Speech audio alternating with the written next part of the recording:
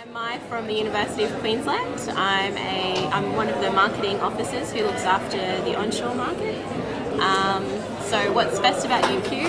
Um, that would probably be our international ranking. So no matter which ranking you look at, we do rank quite well, uh, top 1% worldwide. So um, I'd say that's probably the best thing about UQ.